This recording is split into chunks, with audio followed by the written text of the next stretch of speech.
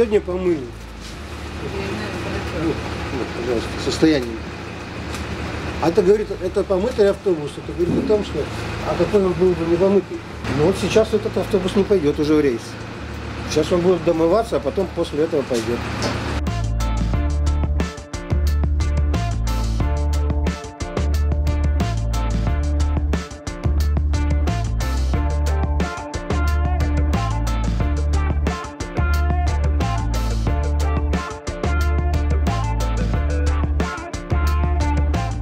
Принципе, неплохо. Но есть автобусы, которые в плохом состоянии. Меня в 45-м все устраивает. Я человек очень терпеливый. Главное быть вежливым.